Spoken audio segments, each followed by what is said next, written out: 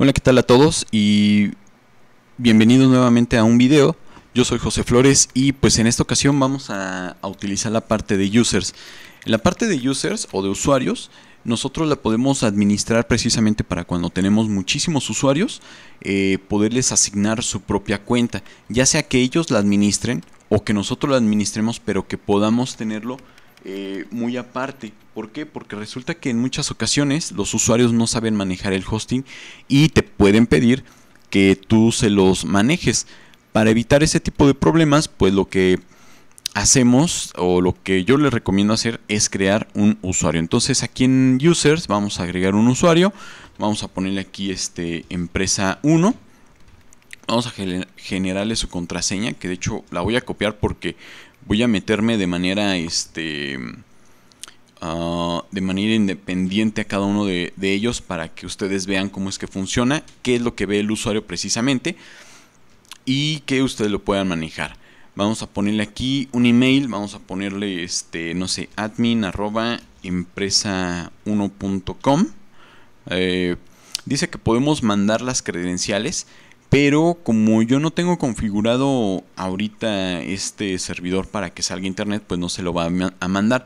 Pero si ustedes tienen un VPS o un servidor dedicado, ya lo podrían mandar precisamente con todos esos detalles. Y les va a llegar un correo a sus clientes donde dice ah tu usuario es la dirección a la que tienes que acceder es y la contraseña es y todo eso no y les da una como eh, leve bienvenida. Entonces Ustedes pueden consultar ahí en, el manual cómo son las plantillas de correos o cómo las pueden modificar. Entonces, pues bueno, eso ya lo de menos.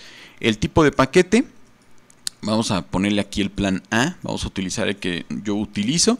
Aquí vamos a ponerle que el idioma sea en español.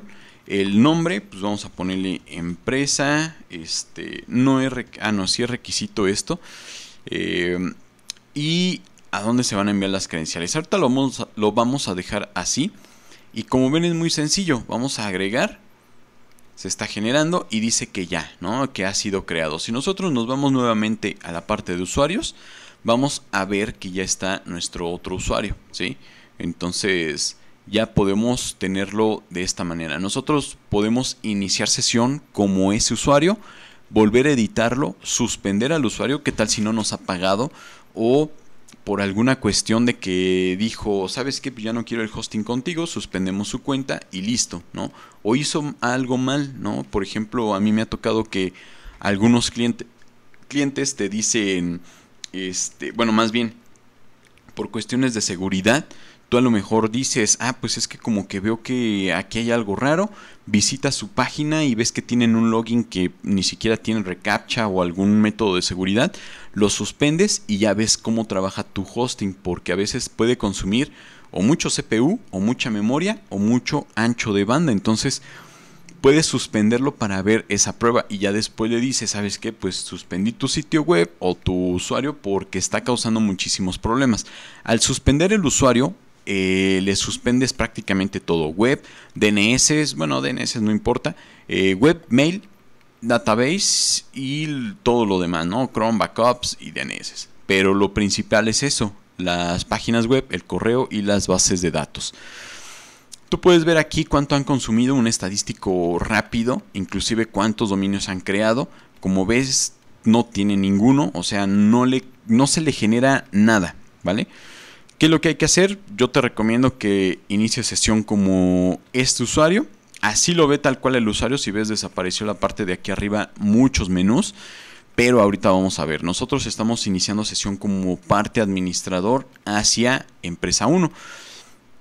¿Qué es lo que podemos hacer aquí? Si yo agrego un web, mail, eh, un web domain, por ejemplo, que se llame empresa, empresa1.com, ahí está de hecho, aquí ya te pone el alias, que sea www, empresa. A mí no me gusta utilizar ya www como, como tal. ¿Por qué? Porque el www, eh, ya después los explico bien, a mí me suena como subdominio. Entonces, sí se posiciona en los motores de búsqueda, pero ya no es tan, tan común. Inclusive en algunos SEOs dicen que pues mejor lo quites.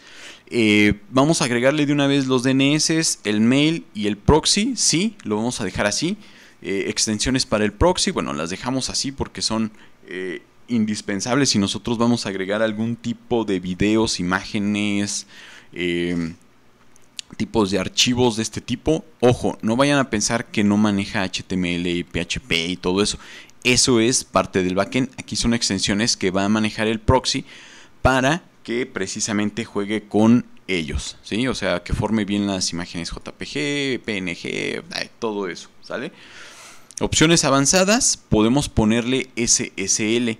Cuando ustedes tengan una dirección IP fija, eh, que eso sí se lo recomiendo, van a poder jugar con este tipo de cosas, porque eh, de manera local no, no lo pueden hacer. ¿Por qué? Porque Let's Encrypt se conecta a su sitio eh, para poder hacer válida el certificado. No le pone certificado de direcciones IP locales ni dinámicas. Eh, entonces, en la mayoría de veces las dinámicas causan problemas porque están en listas negras. Entonces, aguas con eso. Tiene que ser una IP real que ya después de que el dominio está dado de alta y que ya se haya propagado por lo menos unas 6, 5 horas, de 4 a 5 horas, ya se puede poner el certificado. ¿Sí? Porque bueno, aquí de hecho dice, ¿no? Si ustedes le tildan, SSL Support. Si queremos con Let's Encrypt. Y dice que sí, pero va a llevar este 5 minutos y no hay ningún problema. Entonces, o si ustedes quieren, si compraron un certificado, lo pueden incrustar aquí, ¿sí? Y ya agregan el certificado, o sea, la llave CSR, eh, la llave, bueno, este más bien es el, el certificado, la llave del certificado y los dos, que en este caso se llama bundle, algo así, para tenerlos, ¿no? Bueno, yo lo voy a cancelar. Eh, estadísticas, si quieres manejar estadísticas o que el cliente vea cuántos accesos, eh, cuántas personas han accedido, pues bueno, se las, ah, se las habilitas. A mí me gusta AW Stats, entonces lo pueden dejar así. Eh, lo vamos a dejar para después verlo. si quieres agregar cuentas FTP, lo puedes hacer. O sea, aquí ya agregas al primer usuario. Eh, va a llevar este prefijo. De todos modos lo voy a agregar. No sé, le voy a poner este FTP user, ¿no? Por ejemplo, aquí te va formando la nomenclatura de cómo va a ser el nombre de usuario. Porque en ocasiones eh, hay clientes que lo crean aquí, ponen este nombre que crearon, pero no se fijan en esta parte, ¿no? De hecho, aquí dice el prefijo empresa-bajo, empresa 1-bajo será automáticamente añadido al nombre de usuario. Entonces, como vieron, si yo elimino esto, vamos a cortarlo nada más aparece la nomenclatura así, pero si yo lo agrego, pues ya va a ser con el nombre, ¿no? Para identificarlo. La contraseña pues se la podemos generar. Yo recomiendo, de hecho aquí que copié esta, si vamos a utilizar la misma, pues que sea esa, ¿no? Pero tú puedes generar la que tú quieras. El pad lo vamos a dejar así, es decir, la ruta. Y enviar credenciales por correo también no lo puede poner, pero no lo vamos a hacer. Vamos a agregarlo. Tarda unos pequeños segundos y listo. Dice que ya ha sido creado. Inclusive aquí ya tenemos dominios 1, alias 1, DNS 1, eh, registros 14, correo, ya generó el dominio del correo. Ahorita lo vamos a ver. 1, no tenemos ahorita cuentas. Eh, bases de datos no las agrega porque no sabe si vamos a utilizar base de datos como tal. ¿Qué tal si nada más es una página web HTML que muestre lo más básico y que no sea un contenido dinámico? Entonces, pues bueno, muchos lo programan simplemente así, con CSS y algo de JavaScript para efectitos y ya. Pero si tú consigues un WordPress y todo eso, pues bueno, lo haces de esa manera, ¿vale?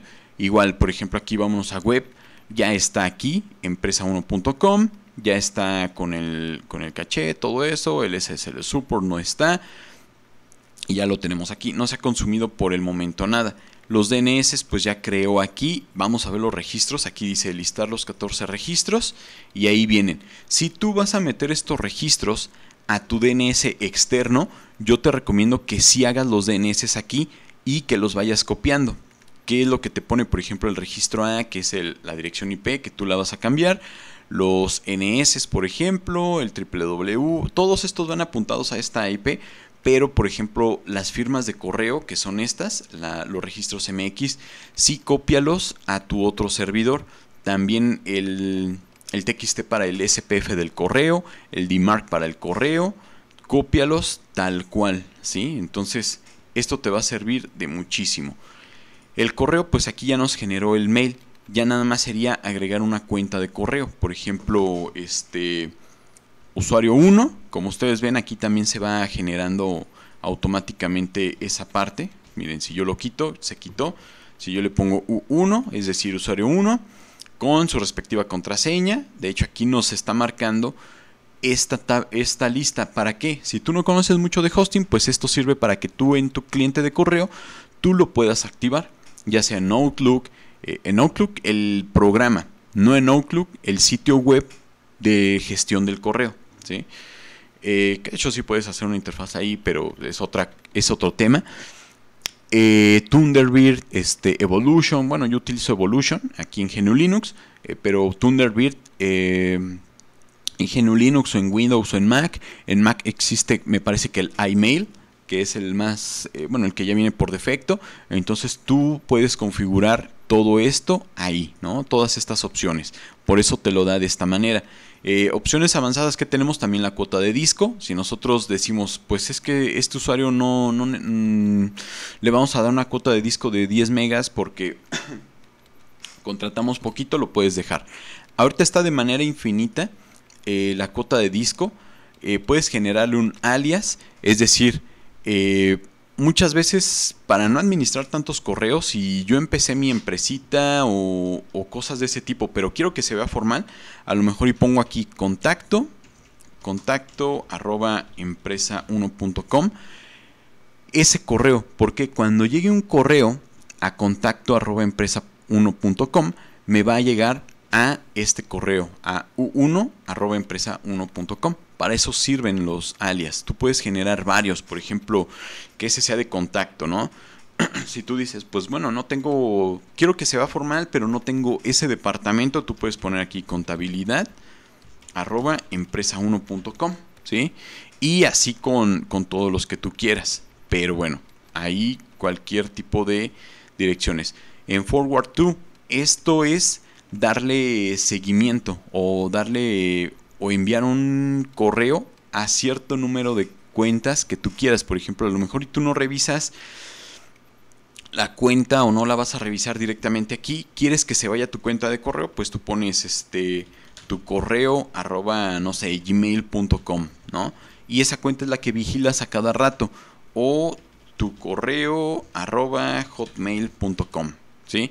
Entonces te llega a esta cuenta de correo y se va a ir a tu, bueno, te los va a reenviar a tus cuentas de correo eh, electrónico que sí revises, ¿no? Entonces, precisamente así es como funciona. Esto es para enviar las credenciales y todo eso. Damos a agregar y como ves, eh, bueno, aquí tuve un, error, me parece que porque no generé esto.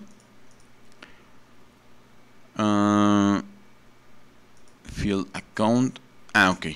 Aquí cuenta es 1.